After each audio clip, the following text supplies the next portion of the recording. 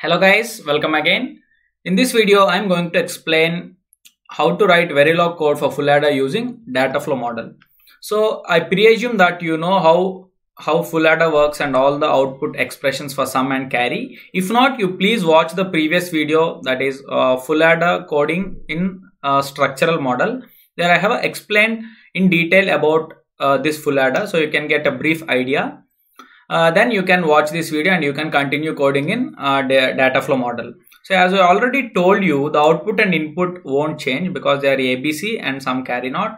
If you take a block of full adder, then the input terminals are these three and the output is sum and carry not. So in the data flow model, you use the keyword assign. So you are assigning the output of A XOR B XOR C to sum directly and the output of this expression after evaluating this expression the output will be assigned to carry not okay? So this is as simple as that uh, and that's it. By these two statements you are done with writing uh, code for full adder in data flow model.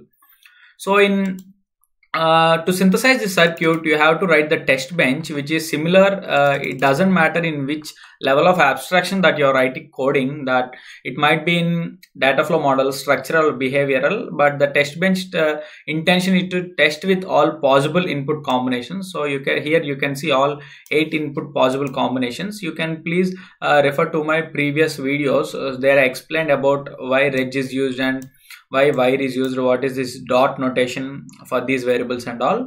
And also about this dollar monitor and dollar finish. For time being you just look at this test bench so that you can try it out on your own. So here i checked the all possible combinations and after 20 nanoseconds because the time directive i specified for each unit as one nanosecond. So this will be done. And let me check the syntax and show you the waveforms which won't vary as in structural model i haven't shown you the rtl schematic. So in this i'm going to show you the rtl schematic also. First let us check the waveforms in detail. Okay here you can check all possible combinations. For 0 0 0 and randomly if 0 1 1 then carry is 1 and sum is 0 and for triple one both should be 1 so you can check all these combinations. So you can try try out this on your own and you can watch this video if you have any doubt.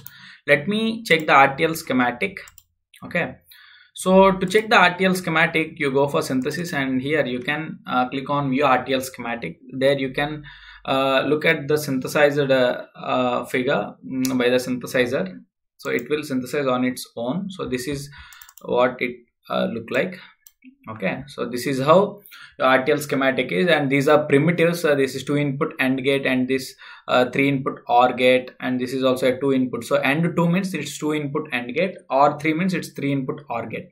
Okay and it's xor. Uh, uh, these are all primitives that uh, that are uh, that are present in the verilog software i mean xilinx software itself so this is how the schematic would be. Hope you guys learned something new and please uh, try to code on your own so that you'll get a brief idea on uh, coding on yourself. And in the next video, I'm going to explain how to code um, for full adder using behavioral model than uh, using instantiation and all these things.